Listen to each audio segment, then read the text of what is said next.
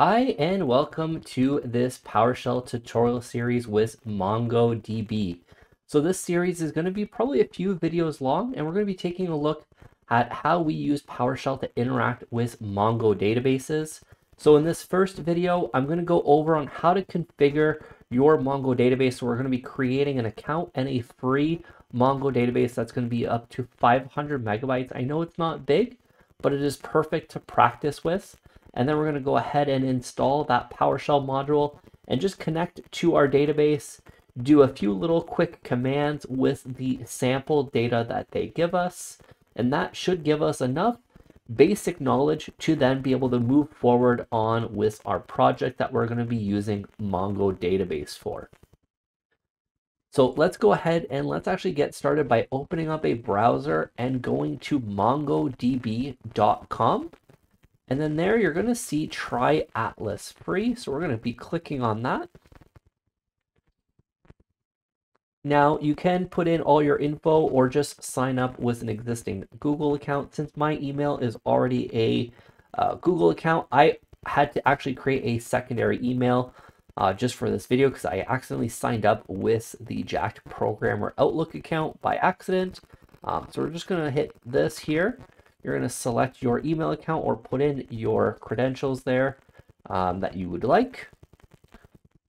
And once you create that, it is a pretty seamless process here. You're going to accept the privacy policy in terms of service, hit submit. And once that pops up there, it's going to be setting up the actual database itself. Um, and it's going to ask you a couple different questions based on just what you're trying to use MongoDB for. Usually I would just put learn MongoDB. Um, how long have you been developing software with MongoDB? Of course, this is all up to you really. Um, we're just going to say for this purpose of the video, I've never developed software with MongoDB before. Um, what languages are you going to be using? You're going to notice that there is no PowerShell um, by default, they don't give any real PowerShell documentation on the MongoDB website, but that's okay. That's why this video exists. So we're just going to hit other. And what types of data are we going to be using? Uh, let's do customer user profile data. And that's it for now. And then for the last question of will your application include any of the following um, architectural models? Um, you could probably put microservices if you really wanted to, um, but I'm going to put not sure and none. Again, you don't even have to do this. You can completely skip this. It's not mandatory at all. And then once we hit finish, it's going to create your account. I'm going to pause the recording just because it does give you your IP address as a default. It basically automatically adds your IP address to get access to that database. So I'm just going to click on finish here. And actually, it does provide you one more screen before it shows you your IP address. I just don't want my IP address to be on the video here. So we're going to select the M0, uh, which is the free option. You can see the other ones, they do cost money. So we're going to pick the free option. It's for a learning and exploring MongoDB in a cloud environment. As you can see, we have 512 megabytes of storage here. Um, you're going to name your cluster. What I usually name mine in this case is just testing cluster. Uh, we also want to make sure that we automate the security setup and preload the sample data set. Um, you can also choose your cloud provider, whether you prefer AWS, Google Cloud, or Azure. Based on my location, Azure is usually probably going to be the best one for me. You can also say that you'll do this later but it honestly it is just a lot easier to set it up right there and then. And then you're going to hit on create deployment. All right so once you've clicked on create deployment you're going to get a window that pops up that basically says it added your IP address to the network access and it also gives you a prompt um, to create your database user. I actually just went ahead and ignored that part so I don't have any database users so I'm going to be creating that just here. So we're going to click on add new database user. We're going to make it a password authentication. We're going to put the name here as jacked. And we're just going to auto generate a secure password. We're going to copy that here. And let's go ahead and let's add a built-in role. And we are going to select the Atlas admin role. And we're going to add user. So now we have our user created. And if we go and click on clusters here, you can say that our cluster is being created. Um, so this does take, it does say it takes about one to three minutes. I've noticed that it can sometimes take like three to five minutes. It never takes a very, very long time anyways. But what we can actually already go and do is let's go ahead and let's go into our Visual Studio Code and install that module while we are waiting for our cluster to be created. So let's go ahead and in Visual Studio Code, we're going to do a install dash module, and we're going to install the module MDBC. And if we go ahead and we just run that here, I already have it installed, um, but if you do not have it installed, usually you'll be prompted for a question of, are you sure you want to install everything? I would usually put A for yes to all, and then it's going to install that module. So then you should be all good to go. And then we just have to wait for our cluster to be created. So we will come back um, once that's created. All right, so here we can see that our cluster is online and it's already loading the sample data set, but that's all right. We can let it load the sample data set. There's already some data in there, so that's gonna be perfectly fine.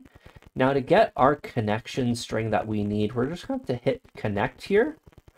And then I usually just pick drivers. Now for this section here, it really doesn't matter which one you pick. Um, you can pick Node.js, you can pick Python. None of it will really change because we grab this connection string down here. So we're just going to copy this here and we are then going to go back to our Visual Studio Code. And we're just going to shrink this down a little bit. And let's go ahead and let's get started at writing our code. So we're going to need to use the connect dash mdbc commandlet. And then we're going to pass in a connection string.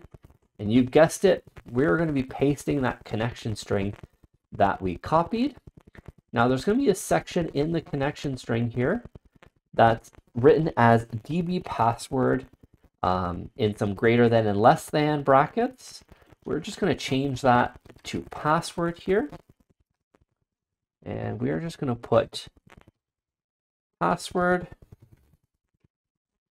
is going to then be equal to we are going to paste in our password here because it will not be the same by the time the video gets released. But what would, you would want to actually do, actually what we're going to do is right off the bat, do it properly here. So what I'm actually going to do is we are going to do a get credential and we're going to store that into the credential variable here real quick. And all we're going to then do is do a message of MongoDB. And then we can even have username. We can put our username here for MongoDB as well as jacked here. We're going to run this. And I'm just going to paste in the password that I got.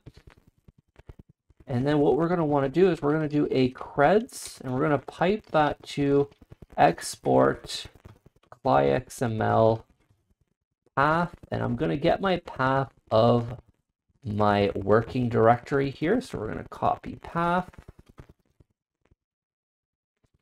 And we are then going to just export that to creds.xml. And we're going to export that. Perfect. And what that is going to give us is give us a credential file that is going to be secure. So here we can do creds equals import XML, and then we can do our path here. And all I'm going to do is copy the path of our credential file here. And if we actually go ahead and import that, And now if we actually look inside of it, it won't show me my password in clear text. It does pass it in as a secure string.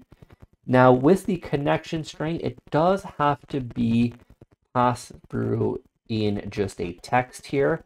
So what I like to do in this situation is we're going to do a variable wrapper here. We're going to do creds dot get network credential open and close parentheses and then dot password. Now that will actually get me the password in plain text into that connection string.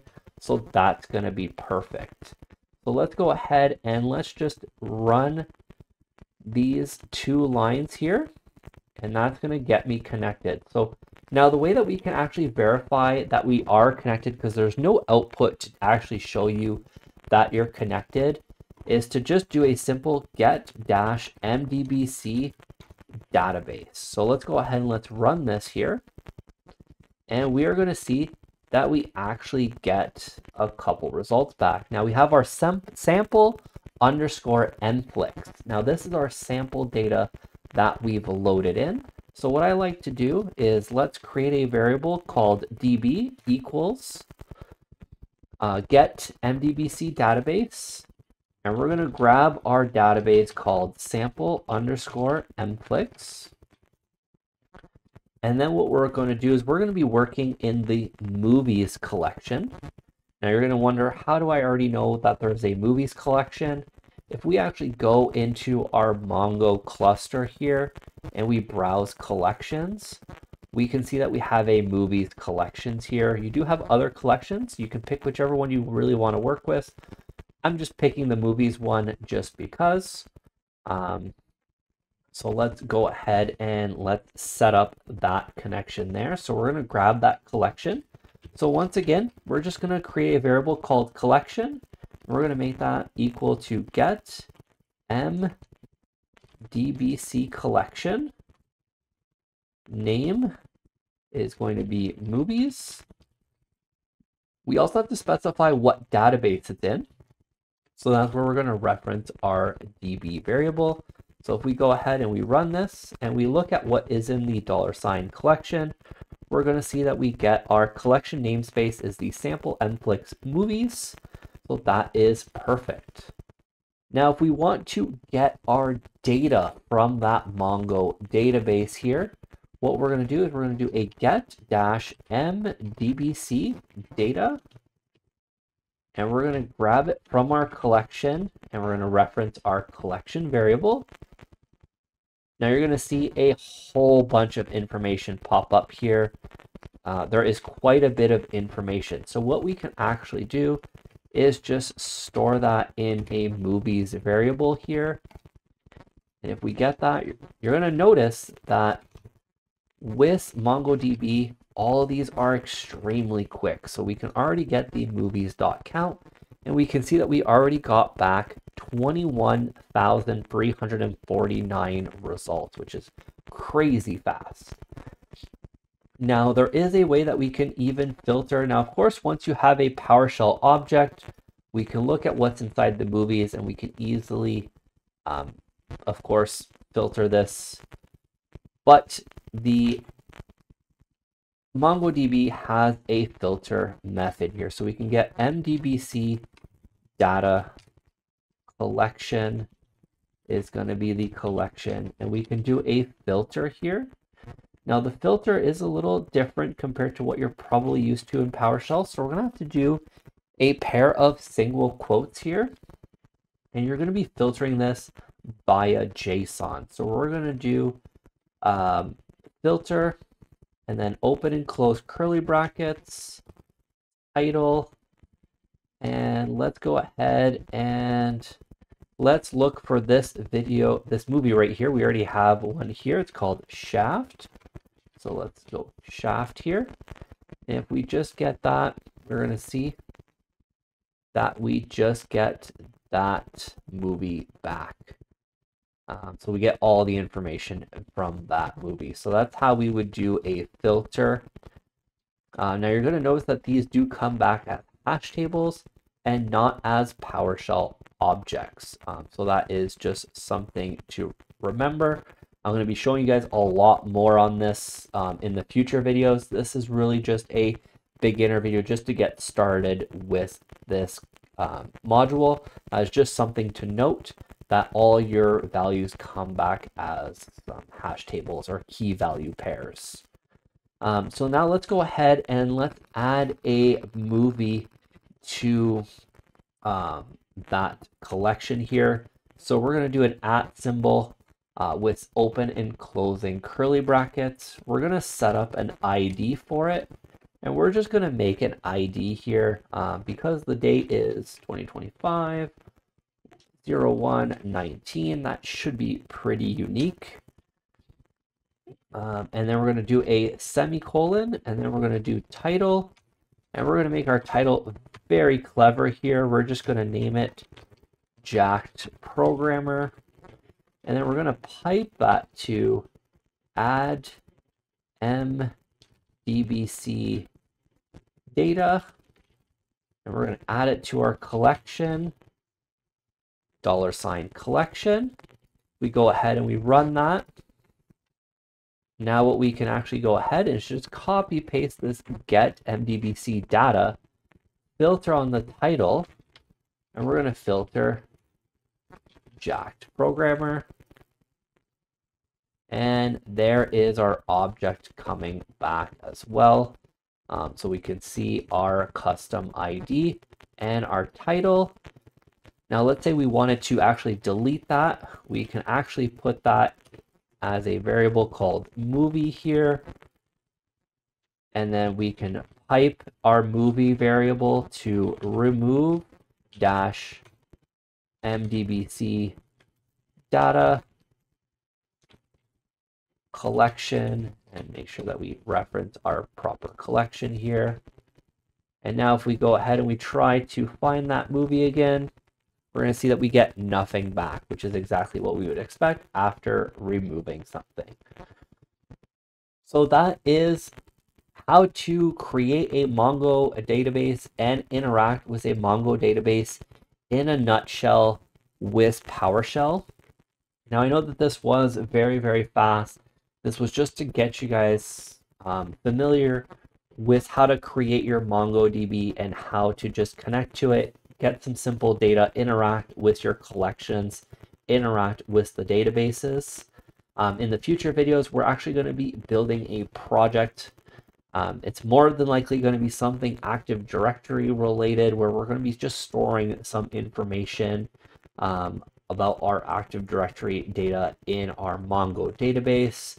Um, it could be anything you really want. Um, you can definitely follow along or use your own example but we're going to be playing a lot with these different commandlets and just learning how to really create collections as well um, in PowerShell as well. So if there's anything that you guys would like to see specifically with MongoDB, please let me know in the comment section down below. I'll do my best to kind of include everything in those videos as well. If you liked this video, please be sure to hit that like button, hit that subscribe button. Also, don't forget to hit that notification bell to be notified when that next video comes out. And I will see you guys on the next video.